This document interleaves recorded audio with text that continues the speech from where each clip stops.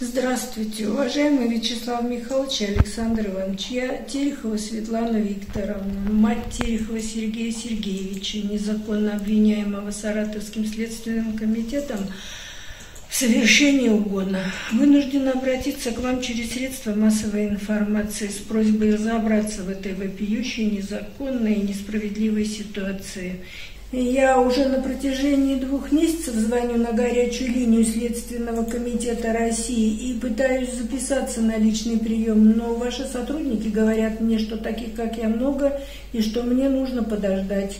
Но почему-то после звонков мне сразу же звонят сотрудники Саратовского следственного комитета и уговаривают отказаться от записи. Причина моего обращения следующая. Моего сына Терехова Сергея Сергеевича пытаются посадить за угон автомобиля, совершенный с угрозой применения оружия. Уголовное дело в отношении моего сына возбудил руководитель Следственного комитета Саратовской области Анатолий Говорунов – в настоящее время Сергей по решению Калининского суда Саратовской области содержится в следственном изоляторе города Балашова Саратовской области. То, в чем следственные органы обвиняют Сергея, я назову борьбой за жизнь. Вечером 11 декабря 22 года он находился на охоте со своими знакомыми. Поэтому с собой у Сергея было ружье. Во время охоты Сергей заблудился в лесу. Была ночь, мороз. Он пять часов бродил по лесу в темноте, чтобы найти, к кому обратиться за помощью. У него не было с собой телефона. Погреться было негде, вокруг темнота. Непонимание, где находишься и куда идти. Слава Богу, потом он увидел свет и оказался в каком-то поселке. Он стучался в дома поселка, но нигде ему никто не открыли дверь. Только в одном доме горел свет, и где на стук моего сына окно ему открыла женщина. Сергей через окно ей объяснил, что заблудился, замерзает, попросил вызвать помощь или такси. Однако эта женщина, видимо, испугалась, просто закрыла окно и больше к сыну не выходила.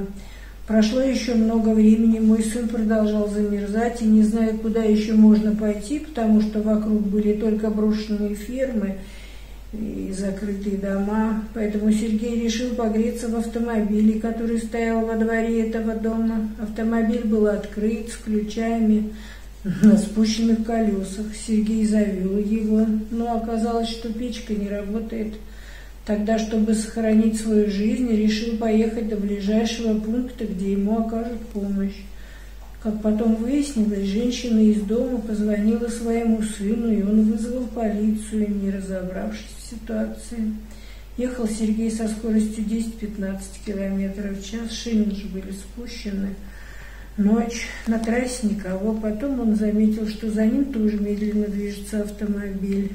Вообще оказалось, что это потерпевшие со своим другом за ним ехали. Но Сергей-то оттуда не мог знать, кто за ним едет. Сергей остановил автомобиль. Те тоже остановились. Он вышел из автомобиля и пошел им навстречу. Но они развернулись и уехали. Сергей даже не знал, что это за люди, а просто хотел обратиться к ним за помощью. Потом Сергей приехал в магазин, там же недалеко от поселка и попросил вызвать такси. В этот момент он и был задержан сотрудниками полиции. Он никакого сопротивления не оказывал, объяснил сотрудникам и потерпевшему причину, по которой он поехал на машине, попросил э, извинения. Потерпевший претензий к нему никаких не имел и написал заявление, чтобы не проводить проверку. Потом Сергея вызвал следователь, которому сын дал пояснение, разъяснил причины. Из-за происшедшего Сергей получил переохлаждение, и его положили в первую советскую больницу города Саратова. И, казалось бы, все, Сергей лечится от переохлаждения, потерпевшему он все объяснил, попросил извинения, но нет, Оказывается, 14 декабря 22 года Анатолий Говорунов возбудил уголовное дело в отношении Сергея. В это время сын уже находился в больнице и не знал, что в отношении него возбуждено уголовное дело. Никто ему об этом не сообщил. А рано утром, примерно в 7 часов утра, 15 декабря 2022 года доблестные сотрудники полиции по указанию следователя просто забрали его из больницы и перевезли к следователю, где его и задержали. И хотя на момент возбуждения дела и мой сын, и хозяин машины говорили, что никаких угроз, а тем более угроз опасных для жизни, мой сын никому не выдвигал. Судьи Калининского районного и Саратовского областного суда, слеп следуя воле следствия и не разбираясь в ситуации, поместили моего сына в СИЗО как подозреваемого в тяжком преступлении. Скоро очередное продление стражи, но следователи, прокуроры и суд никого не слушают. Уверена, что они легко продлят эти сроки, и будут делать так много раз. Я думаю, что данное крайне жестокое отношение к моему сыну не случайно. Он занимает должность заместителя директора Саратовского речного порта, одного из крупнейших портов и судовладельцев – Поволжья, а я являюсь акционером данного предприятия. К данному предприятию особый интерес проявляет руководство прокуратуры Саратовской области, который даже при отсутствии полномочий и нарушении компетенции постоянного организует проверки предприятия, подает к нему иски. Поэтому я предполагаю, что все описанные мной действия и вопиющее нежелание разобраться в ситуации со стороны следствия и суда вызваны волей местной прокуратуры с целью возможного рейдерского захвата данного предприятия в интересах одного из его акционеров, который живет за границей и прославился в 1996 году.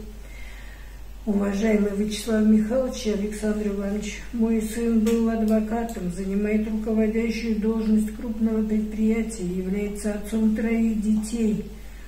Они, он никогда не привлекался к уголовной ответственности, а в этой ситуации спасал свою жизнь от обморожения и смерти на холоде. Он никому не причинил вреда.